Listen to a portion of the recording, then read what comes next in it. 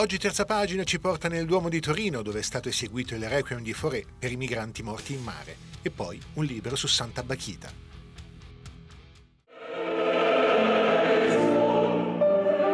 Una ninna nanna funebre che accompagna in modo materno le anime di chi in vita ha provato sofferenze e dolore, morendo annegato nelle acque del Mediterraneo. È il requiem di Gabriel Fauré a risuonare tra le navate del Duomo di Torino per una serata che ha visto la partecipazione di un'ottantina di voci dei più importanti cori dei teatri italiani, dirette dal maestro Fabio Biondi.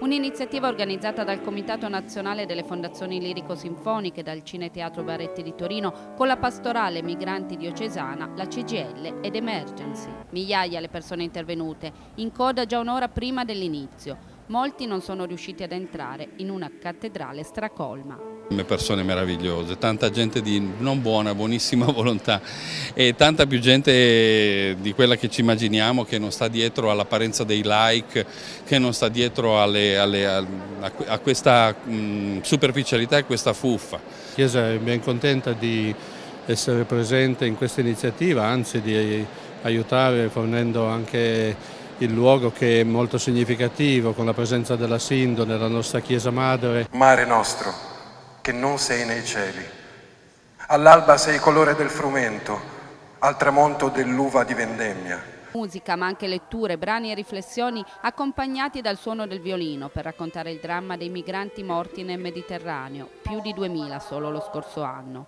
Un grido di dolore, un appello lanciato in maniera composta e significativa dal mondo della cultura. Noi siamo artisti, facciamo dell'arte, i teatri d'Italia sono rappresentati tutti quanti dai coristi che sono venuti in, mh, gratuitamente, che sono venuti a loro spese, è un momento bellissimo di condivisione, vuol dire che c'è gente che milita.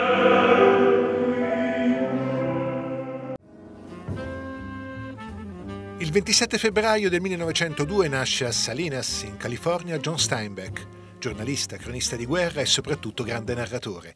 Premio Nobel per la letteratura nel 1962 ci ha lasciato capolavori assoluti come Furore, L'inverno del nostro scontento, La luna è tramontata.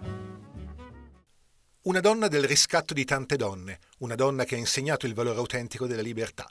Questa è stata Santa Bachita, a cui Roberto Zanini, giornalista di Avvenire, dedica un saggio puntuale, appassionato, ricco di spunti tra informazione e narrativa per entrare nel come della sua attività e della sua straordinaria esistenza.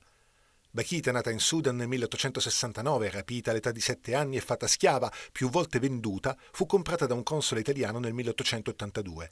Giunta nel nostro paese nel 1895, vi rimane fino alla morte nel 1947.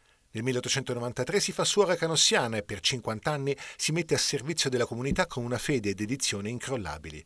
Nel suo libro Zanini ne fa un simbolo e descrivendo la sua vita come in un racconto corale indica una strada per ogni donna ad ogni latitudine. Bakita è stata canonizzata il 1 ottobre del 2000.